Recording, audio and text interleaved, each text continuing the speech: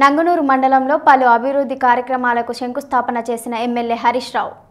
నంగునూరు మండల కేంద్రంలో గ్రామ పంచాయతీ భవనానికి గణపురం గ్రామంలో ఫంక్షన్ హాల్కు శంకుస్థాపన చేయడంతో పాటు మైనంపల్లి గ్రామంలోని రైతులకు పట్టాపాస్ పుస్తకాలు పంపిణీ చేశారు.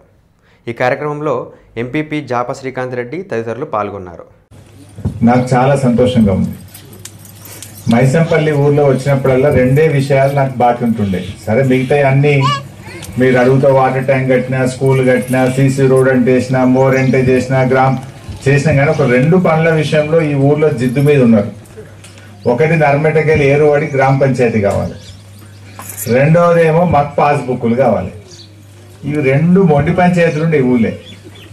ఎన్ని పనులు చేసినా మీకు తృప్తి అవుతలేదు ఈ రెండు అయితేనే తృప్తి అవుతుంది మాకు అని చాలా గట్టిగా ఉండేటోడు రోడ్డు కూడా కావాలంటే రోడూరు మండలం నైన్టీ నైన్ పాయింట్ సిక్స్ పర్సెంట్తోని జిల్లాలో టాప్ చిన్న కోడూరు మండలం. థర్డ్ ప్లేస్లో మన నంగనూరు ఉంది మళ్ళీ.